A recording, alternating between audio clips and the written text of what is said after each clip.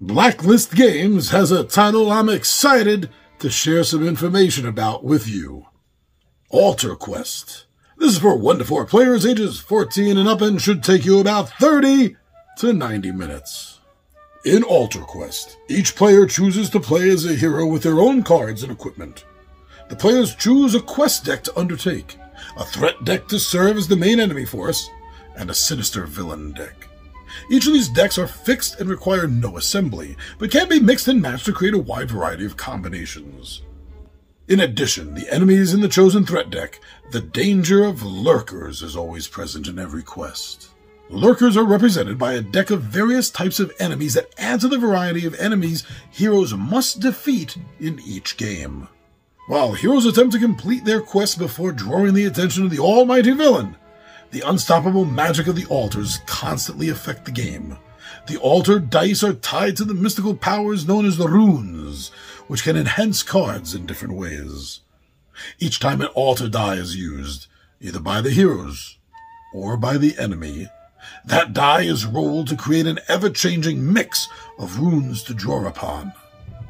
Inspired by the modular deck system that was introduced in the Street Master and Brook City, Altar Quest is an epic fantasy game that provides a deep game experience, whether as a one-off or as an engrossing campaign. All right, now come on, come on. First of all, yes, this is a dungeon crawl. This is a fantasy dungeon crawl. Therefore, this is some version, some type, somewhere in the seed of its creation, if nowhere else, a D&D inspired game. This is also very, uh, well, let's just say it, Hero Quest. it, it, it, does seem uh, heavily inspired by both. So, of course, right away, I want to know more about this, and uh, right away, uh, I also kind of want to try it because of nothing else. I know me, and I know that I would love to try this.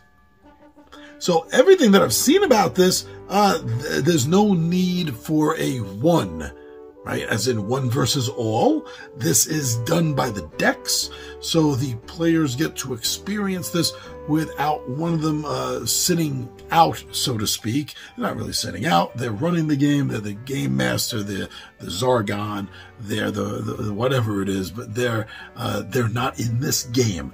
Everyone's sitting down playing the game. It appears to be is going to be playing a hero and seeing it from that perspective. I think that's pretty cool the way it was read, I mean, I'm not familiar with the system it was talking about, but just everything else that uh, it's saying about how the, the decks are put together, uh, how they, what they represent, the hero decks, their equipment decks, uh, quest decks it was talking about, threat decks, villain decks. Uh, it all really has, has, has captured my imagination. And I, I really love these card based driven, uh, story, not story games, but action story games, I guess we could call them. I do. I like that a lot. And this looks like it's going to be another version of that. So I want to try it. Now, the minis for this look okay. The, uh, the, the, hero figures look good. I wouldn't say they necessarily look great, but uh, they're, they're nice to look at. But also, I'm really looking at the furniture and terrain pieces. A lot of games don't do this. There's not a lot of games that will give you these pieces, which of course, yes, does kind of boost the price up a little bit. Let's be honest. Uh, but oh man, it's, I love the eye candy of it. I really do. With the number of uh, scenarios available, plus there are some expansions out for this, it really does add on to the replayability. New uh, heroes are introduced, so giving the option of replaying old ones uh, even more multiple times than you would have without that.